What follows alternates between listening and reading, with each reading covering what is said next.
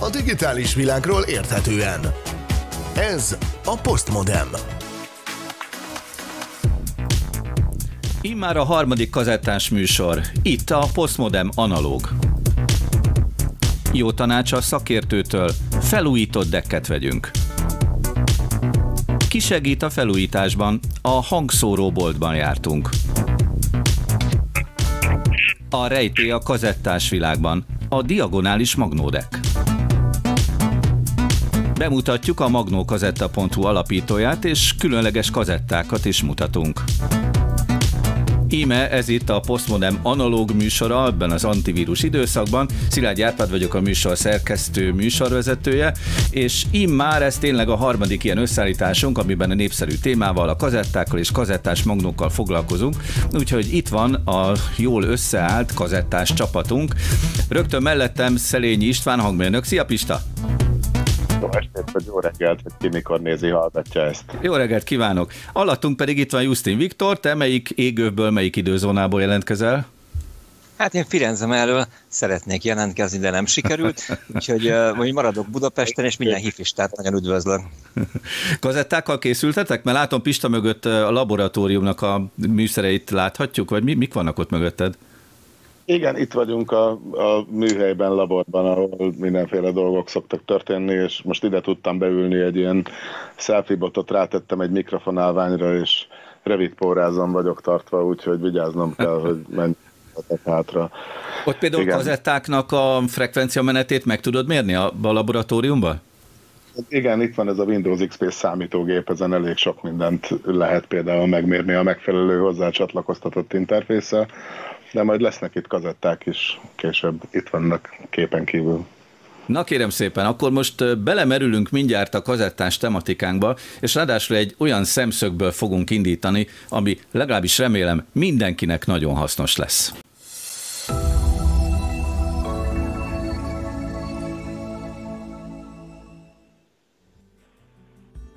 A kazettás műsorainknak az indító trigger pontja ugyanis az volt már három évvel ezelőtt, hogy új kazettás magnók jelentek meg a piacon. Erre látunk most is egy példát.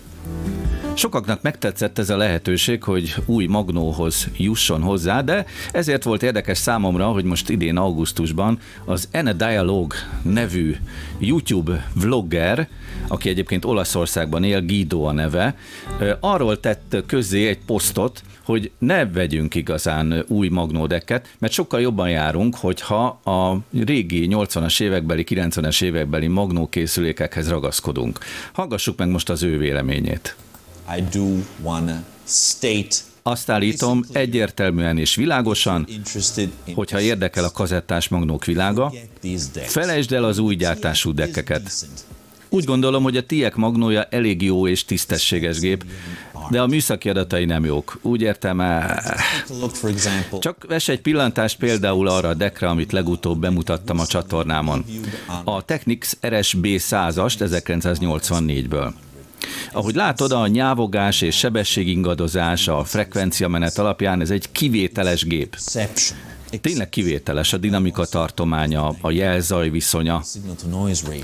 A főleg a 80-as években készített dekkek verhetetlenek. Nem kell megszerezned a legdrágább Nakamichi Dragont, vagy a Revox csúcsdekét, a Sony vagy a Pioneer cuccait. Egy, egy sima színvonalasan elkészített kazettás deck remek megoldás lesz. Ragyogó csillag ahhoz képest, amit most láttunk idei újdonságként. Oké, okay, srácok? Stellar compared to this stuff that we just seen. Just seen, okay guys? Szóval, ha érdeklődsz, akkor szörfölj az eBay-en, vagyis az apró hirdetési oldalakon. Egy csomó hely van, ahol vásárolhatsz. Figyelj!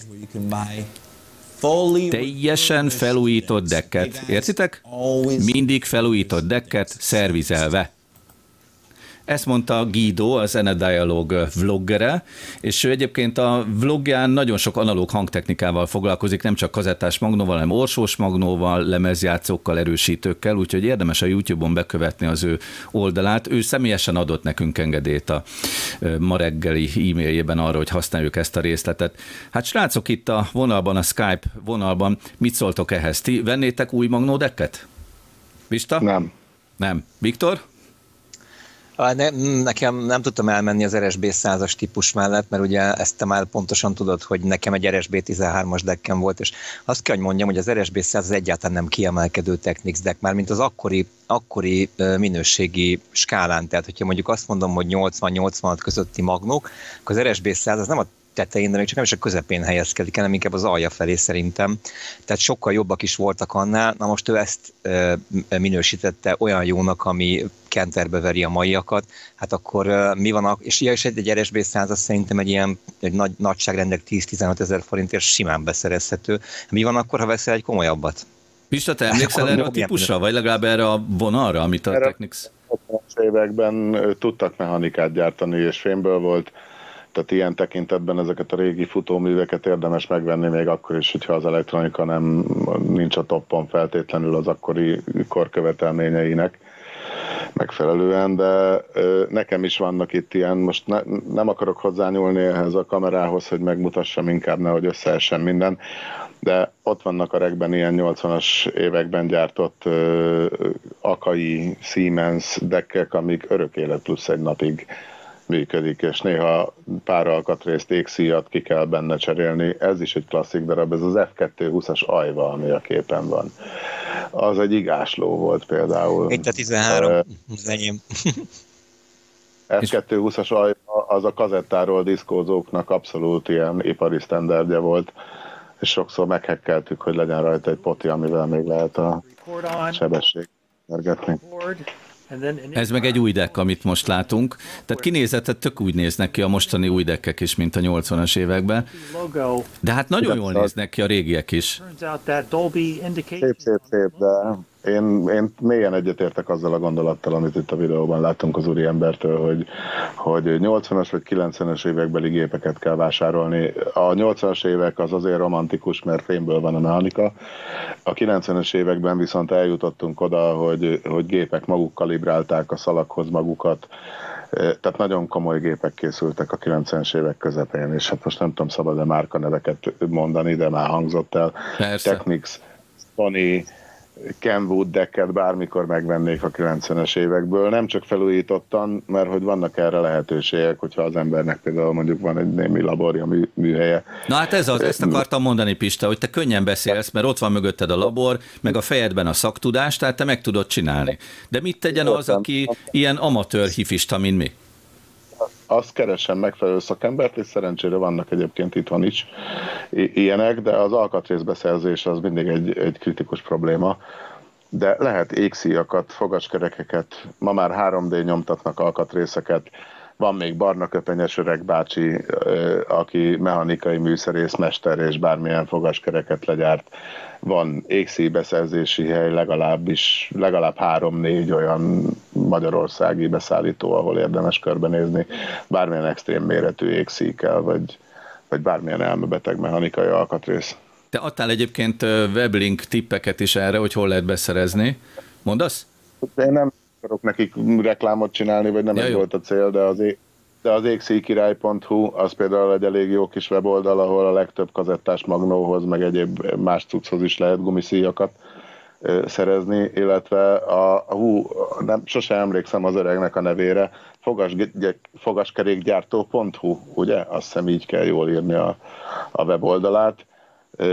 Őt is nagyon ajánlom, mert tényleg egyedi darabokat legyárt. De egyébként vannak mások is, tehát hogy megdöbbentő, hogy még mennyi ember megmaradt a barna köpenyes régi szakembervilágból, akinek a pincéjében van egy esztergagép, és leesztergálja a kapsztan tengelyt a lentkerékkel együtt azt hiszem amerikai ö, weboldal, most így fejből nem tudom a linket, ahol bármilyen szalagos magnótípushoz gyakorlatilag tudnak gumigörgőt küldeni. Nem az eredeti gyári ilyen fekete színű gumiból, hanem sokkal spécibb anyagból, ami, mit tudom én, a szalagsebesség ingadozást, vagy nyávogást ö, egy nagyságrendel tudja csökkenteni. Uh-huh. Tehát ez, ez egy élő kultúra érdekes módon ez a magnetofonosdi digitális világról érthetően.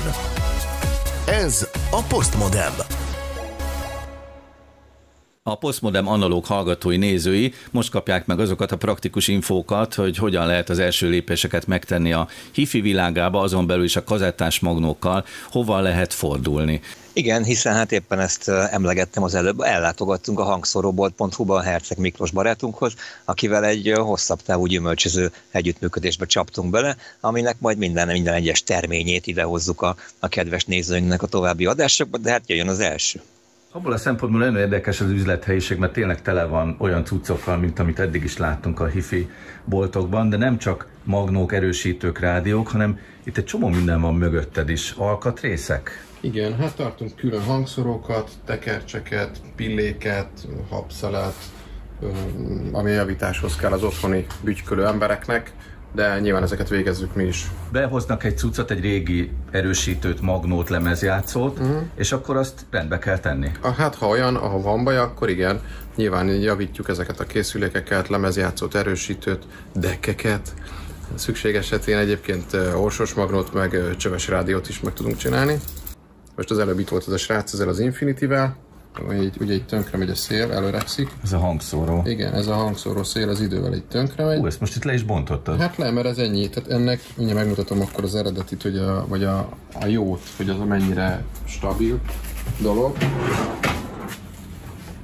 Aha. Tehát egy ilyen, egy ilyen szél az, az nem jön szét, tehát az húzhatom, az, azért az bírja. És ez az idővel megy szét? Ez Ezt az, az idő tönkre teszi. Ez ugyanolyan, mint a nagymama befőttes gumia tönkre megy, előrekszik, elmálik, és... És akkor ilyen hifi alkatrészekből nektek itt a fiókokban rengeteg ilyen mindenféle csavarok, meg rugók? Van, van. Kábel, kondenzátor, ellenállás, minden, ami kell, hangváltó, tekercsek. Ó, igen. Aha. Tehát itt vannak a kincsek. igen. Itt van például ez a nagy lemezjátszó, ezt úgy csúfolják, hogy rút kiskacsa Ebben most azért látszik ilyen Ó, hát ez az 51-20-as, ez a így nagy klasszikus. Van, így van. A régi pickupot és a régi tűt bele rakjuk, hogy lássa a vásárló, hogy mi volt régen. Raktunk bele egy audiotechnikát, nincs benne semmilyen elektronika, teljesen mechanikus. Mutasd hát, még kedvencet nekünk. Nagyon szeretik, és én is, én is szeretem az Akainak az orsos magnóját. Ez egy ilyen klasszik darab, szintén nagyon sok mm, korombeli, vagy talán még idősebb embernek volt ez olyan, hogy de jó, hogyha lenne egy ilyenem, és úristen. Kivezérlésmérőt megmutatom, mert Szelény István hangmérnökünk nagyon szereti ezeket az analóg kivezérlésmérőket. Igen, és ezek is olyan, olyan örök darabok, és nem egy családnak van például olyan igénye, hogy bejön, hozza, hozza a szalagot. Szalagogan. És hát min játsza le? Mert rajta van a gyerekkori felvétel, a nagypapa, az unoka, ja, mit tudom én. Nekem. Na, kazettás magnókra is térjünk Ez azért ki, mert itt, világ. itt van mellette például egy régi Grundig rádiós magnó, ami elképesztő méretű. Ez gondolom kilóra sem akármi. Igen, igen, igen. Hát régen voltak ilyen hordozható, meg kevésbé hordozható dolgok, de ezt azért ilyen, ilyen fogantyús lóbálósra csinálták. Ezeket mi mind felújítjuk, hogyha szükséges, úgy adjuk el, hogy a műszerész kollega átnézi őket, és akkor amiket itt láttok, az, az mind eladó, kazettás magnókkal kapcsolatban mit kérdeznek? Mi az, amit keresnek? Mi az, ami, ami hívó szó esetleg, ami a legtöbbször előkerül a gyakorlatotokban? Hát ez, hogy van kazetta és nem tudja lejátszani, vagy behozza, hogy begyűrte a szalagot, el se indul, mert mondjuk 30 évig a parláson volt, és a szíjak tönkrementek. Um, aztán nagy ritkán a, vannak, akik a másolás véget tehát, hogy van-e olyan, ami két kazettás, és akkor hogy, hogy megy a másolás. Ha számíthatunk erre a trendre, amiről szó volt ebben a videoblogban, amiben a szakértő elmondta, hogy ne vegyünk új magnódekket, Aha. hanem vegyünk a 80-as, 90-es években Igen. gyártott klasszikus magnódekket, mert azokat úgy gyártották le, hogy minőségi és könnyebb is rendbe hozni, akkor, akkor várható, hogy egy idő után majd Budapesten is feltűnnek ilyen igények, nem? És akkor Igen. rendbe akarják hozatni. Igen. Akkor legjobb szakemberhez fordulni. Hát ez mindenképp. Tehát én azt gondolom, hogy én például nem kezdek el cipőt javítani. Tehát odaadom a cipésznek, csinálja meg, lehet, hogy meg tudnám, de háromszor annyi idő, és biztos, nem lesz olyan jó. Érdekes, mert egyébként vannak vásárlók, akik úgy hozzák be, hogy már szétszedve, és akkor bevallják, hogy hát ő megpróbálta, de nem sikerült, mondjuk egy ilyen, egy ilyen forgófejes, oda-visszajátszós magnónál egy szítsere, az nem egy ilyen 5 perces dolog. Tehát azt gondolják, hogy jó, egy ilyen kis befőttes gumit kicserélek, ez három perc, amikor szétszed és kiborul az egész mechanika, akkor, akkor utána a sírdagába bejönnek, hogy hát segítsünk rajtuk. És hát nyilván és szívesen. Tudtok? Persze, szívesen Aha. segítünk, tehát ez nem probléma. Ezt Vagy... kb. úgy képzelhetjük el, mint mondjuk egy karórának a javítása, vagy egy órának a javítása? Igen, igen, én azt gondolom, igen. Tehát itt, itt kell, kell legyen egy rutin, tehát az, uh-huh. hogy valaki ezt csinálja 10-20 éve, és csukott szemmel tudja, hogy, hogy mi hogy működik. És különböző típusok között azért nyilván van különbség, de teljes lelki nyugalommal azt tudjátok mondani, hogy bármilyen kazettás magnódekket vagy magnókészeket behoz valaki, akkor nagy biztonsággal meg tudjátok javítani? Persze, persze. Tehát most ez olyan, mint a márka független autószerviz, tehát a kocsi gurul, motor van benne fék, itt is az elv ugyanaz mindegyiknél, tehát egy motor, szí, direkthajtás, ott van az olvasófej, írófej, vagy a rögzítőfej, de mindenki máshogy csinálja, más, más megoldással, mm, különböző nyuansznyi különbségekkel. Nyilván egyébként ez a, a, a műszerészeknek az izgalma, meg az átka is, hogy hát nincs két egyforma készülék.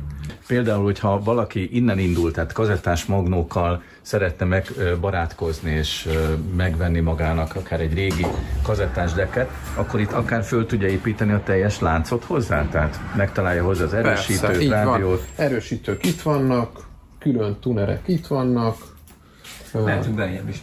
CD, CD-játszók, DVD-k, és ami most egy ilyen új vonal, ez körülbelül egy éve alakult ki itt az üzletbe. Van egy angliai barátom, aki, aki Angliából hoz be az én kérésemre dolgokat.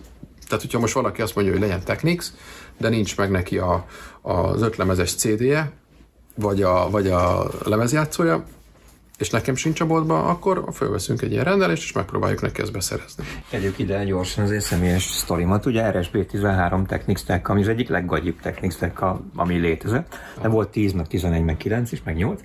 De hogy nem találja Viktor. Keresem Aha. ezt a rapat szart, bocsánat, bocsánat, imádom mert kéne a dizájnja, akarom aha. látni, hogy azok a, az, azok aha. a LED ezek mozognak, és... Tudnátok segíteni Viktornak egy ilyen beszerzésében? Megnézzük. Meg...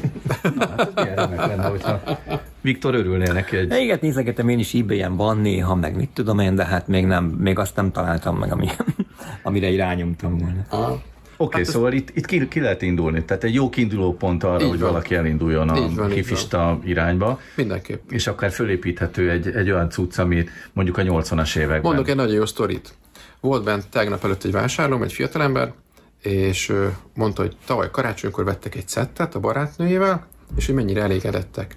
És akkor ő magától mondta, hogy azóta jobb a kapcsolatuk. Mondom, és hogy, hogy, ez meséje. És akkor mondta, hogy együtt járnak uh, lemezt venni, együtt hallgatnak lemezt, és azt mondta, hogy nyugodtan kiírhatom az oldalra, hogy párkapcsolati tréningnek is jó dolog, és azért jött, hogy a vejének, vagy vőjének, vagy valamilyen rokonának vegyen egy új szettet, már hogy használtad, de hogy... Neki is legyen családja. Igen, mert azt mondta, hogy, hogy, hogy meg volt velünk elégedve a termékkel és a kiszolgálással is, és, és hogy ő nem megy máshova. Herceg Miklóst hallottuk, a hangszorobolt.hu tulajdonosát, és nekem nagyon meggyőző volt az, hogy bármit bevállalnak, tehát szinte láthatlanba oda viszünk valamilyen nem működő magnódekket vagy erősítőt, és megjavítják. Azért ez szerintem elég unikális, nem? Srácok, mit gondoltok? Én nem ismertem, nem ismerem ezeket a srácokat, de majd az idő ezt megoldja, azt hiszem. Szakemberek, igen, ezt mondom, hogy el kell vinni szakemberhez, és két dolog ragadott meg egyébként a bejátszásból nagyon.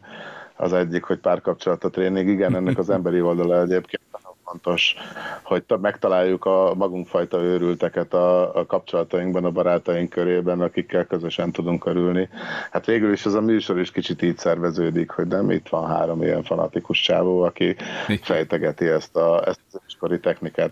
A másik viszont a szervizelés, hogy én is dolgoztam, főként broadcast eszközök szervizeseként, meg rengeteg szervizes barátom van a professzionális hangtechnika, meg hangszerjavítás terén, és ez, amikor már darabokba hozzák be a készüléket, ez még nem a legrosszabb eset, mert amikor megpróbálják összerakni, és úgy hozzák be, hogy egybe van, és hát nem tudjuk, hát egyszer csak nem szólt, és felnyitod, és nem mindig látod a gányolást elsőre. Szóval, hogyha ezt a műsort nézik ilyen lelkes amatőrök, akkor azt tudom mondani, hogy díjazom a lelkesedést, de ne próbáljunk magnódeket javítani azzal a késsel, amivel a Fater a Wartburgot tatta, már elnézést, de nem, inkább idejébe ismerjük föl, és mondom ezt úgy, hogy, hogy itt elég komoly műszer környezet vesz ö, körbe engem alapsávi hangtechnikai, meg rádiófrekvenciás, meg stb. mérésekre, de vannak azok a szakmai feladatok, amit én is hívom a megfelelő kollégát, aki erre be van rendezkedve. Szóval igen, nem olyan egyszerű, ahogy az interjúban mondta az ember, hogy, hogy nem olyan egyszerű. Miklós, igen, bocsánat, nem emlékeztem a nevére nem olyan egyszerű, hogy három perc alatt kicserélke befőttes gomit, ez nem így van. Tehát itt, itt, itt datmagnók állnak szétszedve, ami egy dat, dat mechanikát szétszedni fél óra. Összerakni egy, ha ügyes voltál 40 perc, ha nem pakoltál jól, akkor ki tudja menni.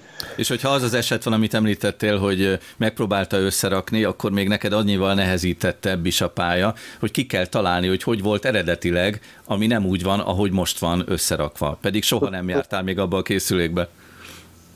Így, így. Tök más sztori, de épp valamikor két-három hete láttam egy digitális zongorát, amit megpróbálta a felhasználója megjavítani, majd összerakta, és a szervizes kollégák két napig törték a fejüket, hogy mi lehet a baj, és az történt, hogy volt egy ilyen sok tűs, tüskés csatlakozó, és egyel sikerült félredugni. És ez nem látszik, mikor szétszeded. Tehát, hogy ne nyúljunk bele készülékbe, hogyha nem vagyunk meggyőződve róla, hogy, hogy van hozzá megfelelő szerszámunk, meg megfelelő hogy mondjam, affinitásunk, mert a szaktudás egyébként, tehát nagyon sokszor iPad-et is én úgy bontok, hogy megnézem előtte a videót, hogy hogy kell. Csak kell szerszámozottság, meg hát kellő felkészültség, és a csehszlovák cekászos pákával se forrasztunk SMD alkatrészt, meg semmilyen másik. Nekem Pista, Pista kommentjéről az itt a Dr. House örökérvényű mondása jut eszembe, hogy a páciens ez mindig hazudik. Mert itt indulunk. Pontosan. Így van, csak itt ráadásul a páciensnek van egy eszköze, ami a beteg. Hát itt arról hazudik. Igen. Szóval hangszóróbolt.hu, és akkor a jövendő kazettás műsorainkban felfeltűnik majd még ez az üzlet, mert Miklóssal arról beszéltünk, hogy mindenféle érdekességekkel a későbbiekben is jelentkezik nálunk. Például óriási kincses bányának tűnik a hangszóróboltnak a raktára, ahol 150 négyzetméteren rengeteg olyan eszköz van, ami lehet, hogy csak donor, tehát már nem működő eszköz, de mindenképpen érdekes, izgalmas történet is lehet ezen eszközök mögött. Úgyhogy folytatjuk. A digitális világ érdekes. Postmodern.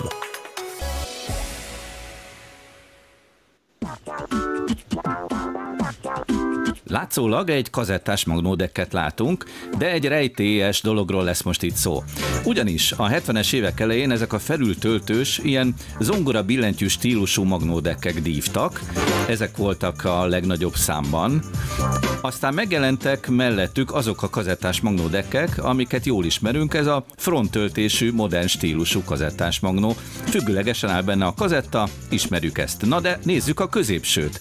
Itt van bizony az a magnó fajta, ami nekünk a legnagyobb fejtörést okozta az elmúlt hetekben. A kisrác kézzel berakja a készülékbe, ahogy látjuk, ez a bizonyos Diagonal Front Tape Loading Cassette Deck, tehát a átlósan fronttöltésű kazettás magnódek. Ti láttatok már ilyet korábban? Pista? Nem. Évőben. Ki, de amikor a pár héttel ezelőtt küldtél róla képeket, akkor. Akkor is né- akkor láttam képen, de hogy azóta se értem ezt egyébként. Nagyon furcsa. Nagyon furcsa. És azért érdekes, mert a 70-es évek közepén jelent meg ez a diagonális deck, én most ezt így rövidítve így mondom, bár az angol kifejezés az, amit az előbb mondtam. 30 fokban áll a mechanika, tehát a kazettát is 30 fokos szögben kell behelyezni ebbe a készülékbe. Miért van megdöntve? Tehát nem az, hogy hogy kell ebbe betenni a kazettát, mi Na indokolja az... azt, hogy ez 30 fokba döntve van. Én ezt nem értem az első perctől kezdve. Ez, mi, hogy nem szakértőt kellett volna írni ebben a műsorba, sajnos senki nem ért rá, és én vagyok itt, de ez valami marketinges húzás lehet, mert egyszerűen próbáltam fizikával kicsit magyarázható szélzideológiát gyártani hozzá, hogy valamivel elő tudjak rukkolni, de nem, és a net, neten sem találtam semmit. Nyilván az elején rögtön az embernek két dolog jut eszébe, hogy ez vagy design, vagy valami komoly, amit nem értünk, vagy nem tudunk, de majd mindjárt kiderítjük. Na, ez a majd mindjárt, ez nem sikerült eddig, illetve, illetve elég sok minden kiderült, amikor az ember neki nekiállt ennek így utána menni, de de még az, hogy pontosan van-e mögöttem mérnöki elgondolás, az nem. Lehet, hogy nincs, lehet, hogy nincsen, és azért nem, de ezt azért, ezt azért még kutatjuk. A, a legközelebb ott jutottunk egyébként hozzá, ami, ami még mindig egy jelentős távolság szerintem, hogy azonosítottam egy olyan Amerikában megjelenő mérnöki almanachot, ami, ami időről időre összefoglalja a hifi berendezések mérnöki fejlesztési munkálatait. És ezt elég alaposan teszi, és ennek találtam, tehát ezt nem mondom, hogy évente kiadják, mert ezt nem, arra még nem jöttem rá, hogy évente adják ki, de 77-eset biztos találtam, találtam 96-osat, 98-eset és 2002-eset. És ezek, ezek egyébként baromi drága könyvek, tehát ott indul a 77-es is valami 130 euró, tehát hogy komoly összegbe kerülnek. Hozzájutni meg nem sikerült még, úgyhogy mm, nekem most a legjobb tippem az, hogyha valahol, akkor ebben lesz info. Közben itt láthatjuk kicsit közelebbről is ezt a előbbi uh, diagonális dekket. A leírásban is benne van a 30 fok. És az az érdekesség, hogy a 70-es évek közepéig tartott ez az időszak, tehát utána úgy 77 környékén teljesen meg is szűnt a piacon ez a történet. Gondolom, hogy akkora látták be, hogy nincsen sok értelme, hanem vagy ezt a felültöltős, vagy pedig a fronttöltésű magnódekkeket kell a piacra vinni, mert annak van értelme, azt viszik az emberek. De tényleg az az érdekes ebben, hogy vajon egyáltalán hol jutottak el a gondolkodásba, hogyan jutottak el a gondolkodásban odáig, hogy ezt az ötletet komolyan vegyék. Szóval én nem is találom azt a logikai fogódzót, hogy mi, mi ebben az érdekes, belerakni a készülékbe, megdöntött mechanikát készíteni. Ez csak nehézség lehet az építésnél, nem Pista? Vagy legalábbis nem látom indokoltnak. Hát most függőlegeset, vízszinteset csinálni, ha nem nehéz, akkor 30 fokot se. Csak továbbra se értem, de voltak ilyen dizájn ötletek, a kibecsúszós, ilyen fiókos, tehát a Grundignak volt az első ilyenje, de a Sony is rengeteg ilyet csinált, hogy ilyen, mint egy CD tálca, és akkor vízszintesen bele kellett rakni. Ezek a gépek például nekem tökre tetszenek, olyan szép, meg olyan menő, hogy így kijön egy tálca, beteszed, de egyébként már a függőleges meg a vízszintes elrendezési magnó között sem értem igazából a különbséget, mert rendes futóművet kell csinálni, és akkor működik az a meghatározott pozícióban. Hadd tegyem Van, hozzá, hogy én a Facebookon láttam az utóbbi hetekben, hónapokban olyan hirdetést, amiben ilyen 30 fokban döntött diagonális dekket hirdettek, és én azt láttam ott a kialakuló vitában, hogy az itteni hifisták jól ismerik ezt a fajtát. Márpedig ez azért érdekes, mert mi is azért már jó ideje figyeljük ezeket az eszközöket, a 80-as évek eleje óta, ha magamról kell beszélnem, biztosan látom ezeket, és nekem egészen a jelenig nem is tűnt fel egyáltalán, hogy létezik ez a fajta kategória, már pedig Magyarországon is volt. Itt van is nekünk egy felvétel, legutóbb, amikor voltunk Benács Józsefnél a stúdió, a Bródi Sándor utca 11-ben, a stúdió 11 nevű hifi boltban, akkor ott is volt egy ilyen deck, ez a bizonyos Yamaha, és itt mutatta is nekünk, hogy belenyúlt a készülékbe, hogy hogyan kell berakni a, a kazettát. Szóval ez tényleg itt, itt Magyarországon is megtalálható, valahogy a mi figyelmünket elkerülte eddig ez a fajta magnódek. Meg lehet találni különböző ilyen hirdetési oldalakon, hogyha valaki pont ilyenre vágyna.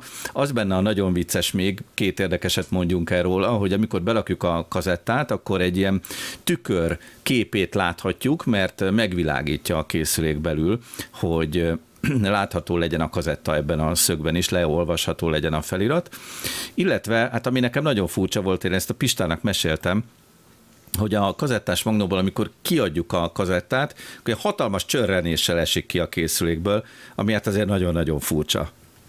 Maradjunk abban, és most itt még nézzük egy pillanat erejéig a nagymárkák által készített diagonális dekkeket, hogy arra kérjük a mi közönségünket, hogy ha ők bele akadnak az interneten, vagy bárhol más forrásból, hogy miért is készítették a 70-es évek közepén a diagonális dekkeket, akkor jelentkezzenek nálunk, mondják meg, vagy írják meg, hogy mi volt azok. Előre is köszönjük szépen!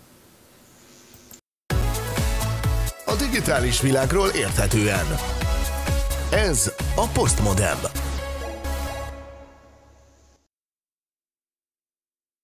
Néhány snittet láthatunk a magnókazetta.hu oldalról, amit itt saját kezüleg készítettem a számítógépemmel. Tavalyi első kazettás műsorunkban már láthattuk ezt, a legnagyobb márkák BASF, Maxell, TDK kazettái láthatóak szépen becsomagolva a magnókazetta.hu-ról, és itt van velünk a magnókazetta.hu szerkesztője Paládi Zoltán. Szia Zoli, jó estét kívánok! Szevasztok, sziasztok mindenkinek! Hú, nagyon örültünk tavaly, hogy létezik ez a gyűjteményed a magnókazetta.hu, mert itt tényleg egy csomó mindent vissza lehet keresni a múltból. Honnan ered neked ez a szenvedélyed, a kazetta a gyűjtés, illetve a kazettáknak a publikálása a netre? Hát ez az egész ez úgy kezdődött, hogy mindig is voltak kazetták itthon, ugye a szakközépiskolás éveket azért a tanulás mellett ezzel ütöttük el. És hát akkor sok kazetta összejött, az ember vásárolgatott, elkezdett dolgozni, magnót, hifit, egyebeket, és akkor gyűltek, gyűltek a kazetták, hát eljutottam kb. 200 kazettáig, vagy 250-ig, amikor azért a CD tért hódított, és hát ugye szép lassan véget ért a kazettás dolog, és akkor bekerültek egy dobozba, a mai napig megvannak egyébként ezek a régi kazetták is eltéve.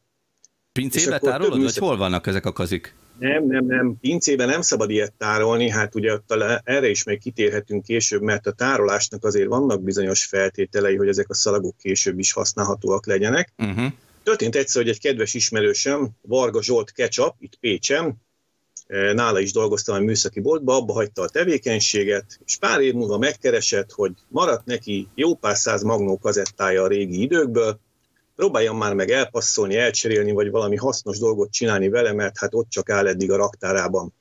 Na és innen az üzleten, ugye?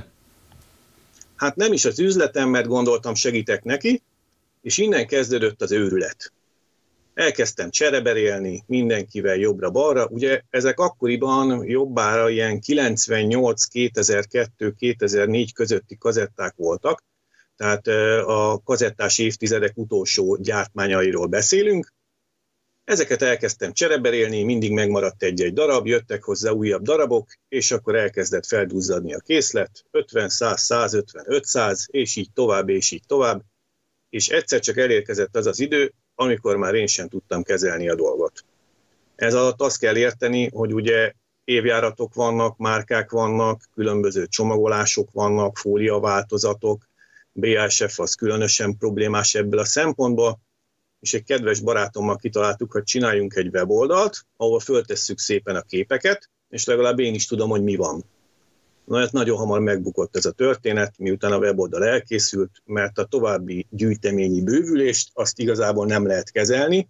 Erről mi korábban beszéltünk is külön, hogy elég komoly munka és elég komoly időbe telik, mire az ember ebből egy weboldalt összerak, és szépen fölrakja a képeket egymás után. Hát igen, egyébként te most kritikusan fogalmazol, de mi itt ezt a bukás részt nem nagyon érzékeljük, mert azt látjuk, hogy tényleg ilyen nagyon katonás rendben vannak a kazetták lefotózva, ugyanabban a szögben állnak, nagyon szépen, mint hogyha egyszerűen valami gép csinálta volna végig a fotózást. Tényleg jól néz ki a, a gyűjtemény. Ezt annyira nehéz megcsinálni?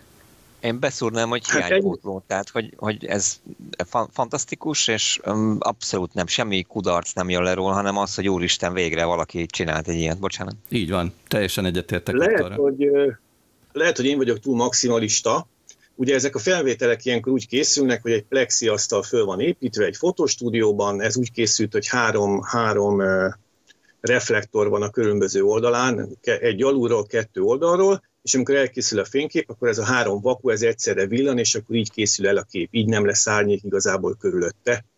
Ez azért kell egy megfelelő fotós is, aki ehhez partner volt. Nekem ebben nagy segítségemre volt itt Pécset Kalmár Lajos, aki ezeket a képeket elkészítette. Hát erre ráment egy napunk, erre az egészre. A folytatás viszont az lenne, hogyha gyűlik a gyűjtemény, tehát bővül a készlet, ugye az nem biztos, hogy nem a sor végére kellene tenni, hanem valahova beilleszteni a megfelelő évjáratba, normál, krómos, metálkazetták, ahogy jönnek sorba uh-huh. ugye a típusok. Ez viszont azt feltételezi, hogy ha én újra akarnám föltenni a képeket, akkor az egészet újra kellene fényképezni, mert úgy lesz meg az a beállítás, úgy lesz meg az a fényviszony, hogy ez valóban így látszódjon, ahogy ti is most ott a weboldalon látjátok esetlegesen. És ez ekkora nagy munka, hogy már szinte bukásról beszélsz? Szóval itt hány ezer kazettát kell még lefotózni? Hát amit ott láttok, az pár száz kazetta, azt szerintem egy olyan 5-600 kazetta van fönn jelenleg a weboldalom. Most ennek azért több, mint a duplája van már itthon, tehát ezer fölött van a bontatlan kazetták száma. Hát ezt akkor igencsak komoly melóval tudnánk megoldani. Erről le is mondtam egy előre, mert hát ennyi időt nem tudok beletolni ebbe most így hirtelen. Azt szeretném elmesélni a mi hallgatóinknak, nézőinknek, hogy megállapodtunk Paládi Zoltánnal, hogy mostantól a kazettás összeállításainkba rendszeresen jelentkezünk majd a magnokazetta.hu különböző tartalmaival. Így aztán most az első beszélgetésünkre is Zoltán készült néhány érdekes történettel. Ezeket fogjuk most mindjárt megmutatni. Én rögtön mutatom is az elsőt, Zoli, jó? Ez egy nagyon-nagyon régi kazetta, Maxell kazetta ráadásul. Így, ahogy mondod, ez az egyik első Maxell kazetta, 1967-69 között volt forgalomban, ahogy én is utána néztem a netem. Az érdekesség az, hogy még igencsak a kazettás korszak elején járunk, és hát valamiért a gyártó szükségesnek látta egy kis inzertet elhelyezni a kazettatokban. Ezt én is próbálom így mutatni nektek, nem tudom mennyire, Látszik mennyire szépen. Jön. Aha jön ki. Uh-huh. Tehát az a lényege, hogy egy kis cetlit helyeztek el benne a polgár számára, hogy hogyan kell a kazettatokot magát kinyitni, valószínűleg azért, hogy ne törje el rögtön az első mozdulattal. Én ilyet más kazettában nem találtam még ilyen kis papírost. Igen, tehát meg is mutatjuk ezen a fotón, hogy how to open, vagyis magyarul, hogy kell kinyitni a kazettástokot. Tehát ez nyilvánvalóan abból az időkből származik, amikor még újdonság volt a kompakt kazetta. Látszik is egyébként a dizájnon, még a kompakt kazetta logó is rajta van, pedig ez később a Maxell aztán már nem rakta rá a kazettáira. Valahogy ez a színösszállítás is, meg a, a műanyag dobozon is látszik, hogy ez nagyon-nagyon régi ez a kazetta. Később sokkal dögösebbek voltak a Maxell kazetták, már így kinézetre, ugye? Így igaz, a Maxell nekem is a kedvencem, főleg egyébként az ilyen 82 és 90 közötti évjáratú darabok. Itt viszont még erre visszatérve egy pillanatra, ha a képet be is tudod adni, a Maxell logó még teljesen más volt, mint amit később Ezt megszoktunk. Mondani. Ezt akartam mondani, kiszúrtam, bocsánat, ezt, ki, ezt kiszúrtam, hogy egy, egy teljesen ismeretlen Maxell logó van rajta. Uh-huh. Na, mutatom a következő képet, ami Magyarországra hoz bennünket. A Polimer márkával már foglalkoztunk, de itt azt hiszem, hogy nem a márka lesz az érdekes, hanem? Itt egész biztosan nem a márka az érdekes, mert ugye gondolom ez volt elérhető a gyártás szempontjából idehaza. Ez egy hangos mesék sorozat, egy-kettő, ezt úgy kell elképzelni, hogy egy-egy dobozkában volt tíz darab mese, ami diafilmre el volt készítve, és ehhez tartozott egy hangkazetta, amin a tíz darab mese teljes mértékben fel volt mondva, ismert színészek előadásában, például Detre Anna Mária, Gáti Oszkár, csak hogy két ismertebb nevet említsek rögtön, és ezek a mesék itt voltak a kazettára fölvéve, A és B oldalra szépen föl van jegyzetelve, igen, látjuk is ezen a képen, hogy azt mondja, hogy hetet hét ország, pincérfrak utcai cicák, tengerecki, meg a naphivogató című mese az A oldalon.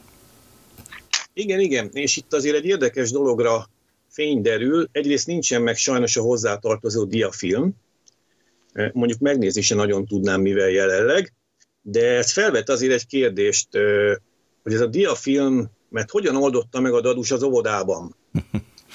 Hát ezt azért meg kellene fejtenünk, mert ugye ha itt volt a diafilm, amin ugye ott volt a mese, valószínűleg a felirat ilyenkor nem került ráégetésre a kópjára, mert hát magán a kazettán volt ugye a szöveg felmondva. Azért némi leleményességet, ügyességet, gyakorlatot igényelhetett ez, hogy elindítani a diafilmet, tekerni, és közben a magnót is kezelni hozzá, elindítani a kazettát.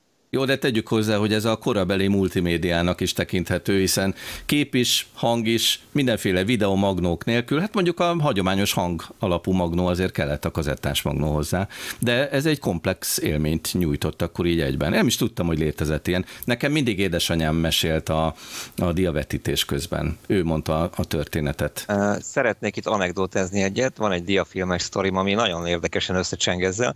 12. kerület, ilyen, ilyen hegyvidék alja kiskocsma, magánház garázsába, valamikor a 90-es évek közepén, és ott az, az, az volt az, a, az esti műsor, hogy a, a házban főzött pálinkát, azt úgy ittuk meg, ott a adhok összegyűlő baráti társasággal, hogy beraktunk egy diafilmet, és akkor kilettek osztva a szerepek, és minden szereplő valaki más volt, és ahogy fogyott a pálinka, úgy lett egyre jobb a hangulat, meg úgy lett egyre viccesebb a diafilm. Tehát, hogy, hogy ez ilyen élőben is működött, csak ne, én ezt sose gondoltam, hogy kazettán is van ilyen Detre Anna Máriával, hát ő ugye nem Ilyen illusztris vendégeink nem voltak, de sokat röhögtünk. Szóval Meg ez nem is ívott közben, szerintem, ahogy felolvastam. Ez majdnem, az majdnem teljesen biztos, hogy nem. hát szóval ez tényleg egy különleges kazetta volt, kedves Zoli, hangos mesék. Szerintem ez is 70-es évek lehet, vagy 60-as évek vége, valami ilyesmi. Nem, ez, ez inkább, a, inkább 80-as évek elejére tippelnék a kazettából. Aha. Tehát akkor volt a diafilm gyártás is akkor értette szerintem az aranykorát hazánkban. Miközben itt egyébként örülhetünk Justin Viktor kiskutyájának, Flórának. Szia Flóra, Flóra. ott integet. Igen. Sziasztok. Szia, szia, szia Flóra. Szóval, hogy azért is nagyon érdekes ez a történet, mert azt, azt is bemutatja a számunkra, hogy a magnókazetta.hu nem csak a nagy márkák gyönyörű kazettái vannak a 80-as évekből, 90-es évekből, hanem ilyen spéci dolgokat is gyűjt Paládi Zoltán. Köszönjük szépen a közreműködést a mai kazettás műsorunkban, és a legközelebbiben pedig folytatjuk a kalandozást a kazetták világában. Szia Flóra! Szia, Szia Zoli! Zoli. Szia Zoli! Köszönöm szépen, sziasztok! A digitális világról érthetően. Ez a Postmodem. Mi is készültünk most kazettákkal, mint ahogy eddig szoktunk. Hoppá, és Szelény István már mutatja is az elsőt. Mit, mit látunk? Kicsit sajnálom, hogy nem ezt a pólót vettem fel, próbálom jól mutatni. Polimer! Egy majd talán legközelebb. Honnan sikerült polimer feliratos pólót szerezni? Lehet manapság mindent lehet kapni. Bizt, és nem Kínából van. És ezek sem Kínából vannak még, hanem... Uh, Eredetiek. Igen, eredeti lefóliázottak, és hogyha wow, a fényképgyűjt... És nézd, és nézd mit hoztam. Egy D90-et, Ugy, egy ugyanolyat. Sőt, srácok, ezt nézzétek, mi van nekem. Pont ezt választottam ki. Egy Pont azzal készültem, mint a Pista, csak egy 90-es. D60-as. Ez nekem azért tetszik, mert nagyon elegáns szerintem. Ezektől a vékony ah. csíkoktól, amik itt az oldalán találhatók, valahogy nagyon szépen eltalálták a designerek ezt, a, ezt az arculatot. Szerintem barom jól néz ki. Mindenkinek volt D90-es, meg D60-as. Mutatok még egyet, hogyha nálam van a szó.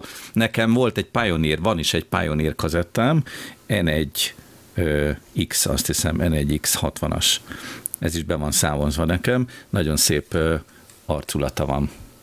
Akkor gyorsan berombolok egy igazi lengyel piacos takt kazettával, méghozzá a YouTube Achtung BB-vel. Na ez, ez volt, a, ez volt a, a low budget műsoros kazi a 90-es évek elején. Azaz. Azaz. Ezt a taktot lehetett piacon megtalálni, vagy megvenni? Lengyel, lengyel piacon. Szép emlékű lengyel piacon. Őrületes. De hogy lásd, hogy nem csak, hogy nem csak kamukazit vettem, vettem ilyet is, látod? Ezen meg van ilyen szép hologram, hologramos izé. Ő, az milyen úgy. hologram? És ez nem más, mint a kispál és a borz. Hoppá! Uh, ez milyen hologram? Ez kérdezi, a mahasz. Mahasz. Tehát eredetiséget igazoló hologram, ugye? Igen, igen, igen. Ilyen hologramokkal volt akkoriban megoldva, hogy uh-huh. bizonyítható legyen, hogy ez egy valóban Igazi. A lovasziék adták ki, igen. Közben Pista is mutat valamit, valami jelleggörbét. Igen, az enyémben frekvencia menet van, ami nyilván marketinges színes ábra, de egyébként ez egy baromi jó szalag. Kettő, Fú, és kettő intakt. Darab, ke, igen, kettő darab ilyenem volt, és az egyiket beáldoztam valamikor két-három évvel ezelőtt egy olyanra, hogy egy egy trash pop albumnak a masterét csináltam, és egyszerűen kellett az a hang, amikor egy jó krómos szalag meg van vezérelve úgy, amikor már nem bírja, tehát szaturációig. De a másik még, még tíz. Pistántól akkor egy kérdés, hogy itt egy jó kis gyári, szintén gyári rendes Led Zepp szalag, egy Led Zepp szalag, és mi ez itt, Pista, miért van, miért van itt egy ilyen hiány a közepén? középen, mint hogyha metál szalag lenne? Nem minden, hogy ez egy metál szalag. Ez egy sima Led Lehet, hogy egy metál szalagra tették a... Meg, hát akár megesett. Nem tudom, ezt a konkrét darabot nem ismerem, de ha ott van a kivágás, akkor Valaki el... egy forrasztópákával belement, nem? Nem, nem, ez gyári. Teljesen nem, gyári. Gyári. Simán le. Hogyha egy... nem látom nem most jól, mert én egy mobiltelefonon nézem, de hogyha azt a kivágást látod, ott ugye van a felvétel, a Chrome Metal, Igen. hogyha metálnak tűnik, akkor, akkor valószínűleg az. A metal is. Chromos, chromos kazettát láttam már. Tehát el tudom képzelni, metal, metalból is készült. Egy későbbi takt design, ahol már itt teljesen elszállt velük a ló, és már a az előadó, aki egyébként a Roxette ezen a kazettán, helyett is az van ráírva, hogy takt. Ez már csak takt. Ja, hogy a Roxettet nem írták rá? Nem, csak, csak a saj önpromó, önpromó hegyek, és egyébként meg a, hát, ugye a tok az meg ez lenne hozzá. Aha. A turizm. Ennek nem csak az önpromó az oka, hanem így sorozatban leszitáztattak nagyon sok ezer darabot, úgyhogy a kazettán oh, sem nincs. és csak a papírt kellett cserélni a tokba. Na, hát uraim, én azt hiszem, hogy ez egy kimeríthetetlen kincses bánya ez a kazettás világ, tehát lesz még hát- mit mutatni. Viktor itt közben folyamatosan tévés. mutatja. Ergo és a Homo sapiens. És ezt tudod mi? Ez kérlek szépen az angyalbőrbennek a hivatalos kazia. Őrületes. Ez egy, té- ez egy tévés kazi. Pista? Még wow. egy utolsó? kicsit jobban rámennék a dologra, akkor nem fejjel lefelé tartanám ezt a, meg vannak ilyen mikrokazetták, és egyébként valahol Jumatic szalag is van, amin a Pantarei Epilógus című albumának a mastere PCM-be, PCM adapterrel Jumatic szalagra. Szóval az kiveríthetetlen téma. Igen, és akkor így a műsor végére megjelent Flóra és a kiskutyus. Flóra aki... is itt van, ismét, ismét itt van. Kilenc hónapos kutyuska. Igen. Műsor végén tudok nektek mutatni valamit, hogy itt két analóg hanggenerátor dolgozik, mióta elkezdtük, és akkor futnának teljesen együtt, hogyha az az ábra ott állna a hátam mögött. És hát időnként megállítja az ember, de az analóg technika az sajnos olyan, hogy, hogy hőstabilitás, meg öreg alkatrészek. Tehát mondom, ennek állnia kéne abban az esetben, hogyha a két generátor tökéletesen együtt futna. Na, hát milyen kis érdekességek is kiderülnek itt a műsor végére. Például az analóg világról, mert ez volt a világnak a romantikája.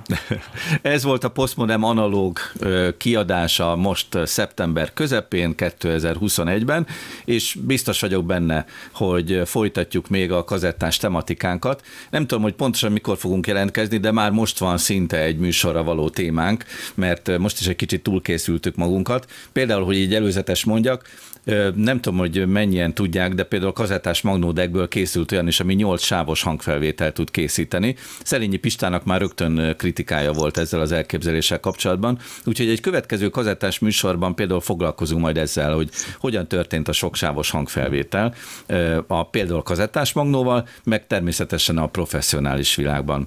Viktor? Egy utolsó gondolatot, bocsánat, még beszúrnék, hogy egy szomorú aktualitása van, de Nagy Vilmos elhunyt ugye, aki az Orsó és Magnum Múzeumnak volt a, a létrehozója, és vele egyébként terveztünk terveztük őt megkeresni, felkeresni, de természetesen az életművét majd a későbbiekben körbejárjuk, bemutatjuk, és hát lehet, hogy a múzeumot is sikerült meglátogatni. Így van. Nyugodjon, és nagyon köszönjük neki a a, amit elkövetett, mert Európában biztosan egyedülálló gyűjtemény az, de talán a világon is. Több mint 500 Igen. orsós magnó található egyébként a múzeumban terényben, úgyhogy ezzel a későbbiekben fogunk foglalkozni. Eddig tartott tehát a kazettás műsoron, köszönjük szépen a figyelmet, és köszönöm a közreműködést Justin Viktor újságírónak és Szelény István hangmérnöknek. Szilágyi Árpádot hallották, viszont hallásra, viszont látásra. Sziasztok!